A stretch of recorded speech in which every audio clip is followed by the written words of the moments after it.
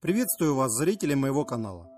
Хоть МАЗ-520 не пошел в серию, так как был всего лишь экспериментом для повышения грузоподъемности, минчане продолжили экспериментировать, вследствие чего появился этот грузовой автомобиль с использованием агрегатов и узлов МАЗ-500, в котором применили свое ноу-хау – подъемную третью ось.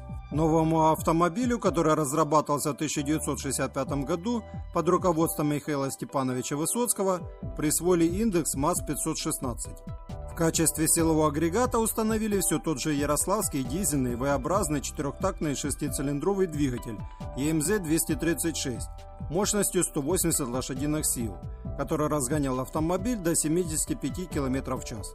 В паре с двигателем работала пятиступенчатая механическая коробка передач с синхронизаторами.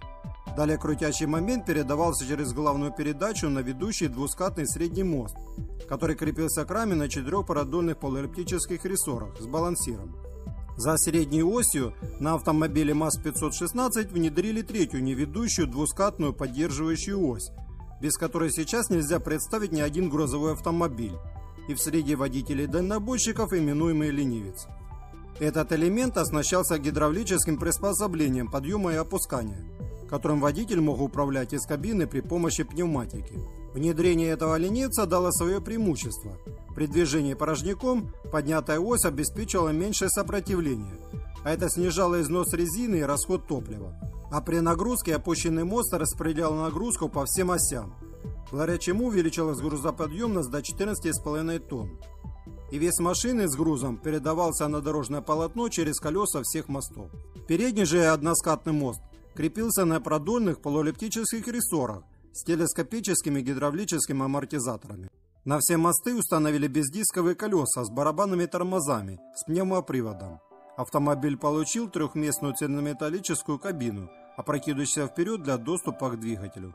Управление автомобилем осуществлялось при помощи двухступенчатого рулевого механизма, состоящего из винт-гайки на циркулирующих шарнирах и реки зубчатый сектор с гидроусилителем.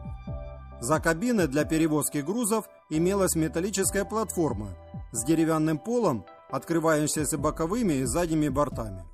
Также была возможность установки тента при помощи железных дух. Испытания МАЗ-516 начались в 1966 году где были выявлены ряд недостатков в виде прогиба верхней полки лонжеронов рамы под передним кронштейном опоры платформы, недостаточной прочности кронштейнов амортизатора и гидроусилителя руля. И после устранения неполадок и ряда доработок данный автомобиль был представлен на межведомственных испытаниях в 1968 году, а уже в 1969 году первая партия сошла с конвейера. 1973 году МАЗ-516 подвергся модернизации. Он получил модернизированную трехместную кабину со спальником, и которая была унифицирована семейством МАЗ-500А. А силовым агрегатом послужил уже новый ярославский дизель ЕМЗ-238 мощностью 240 лошадиных сил, что увеличило параметр грузоподъемности до 16 тонн и появилась возможность агрегации с прицепом. Данные модели получили уже новый индекс МАЗ-516А и Б, а благодаря применению нового прицепа на МАЗ-516Б грузоподъемность данного грузовика увеличилась до 24 тонн.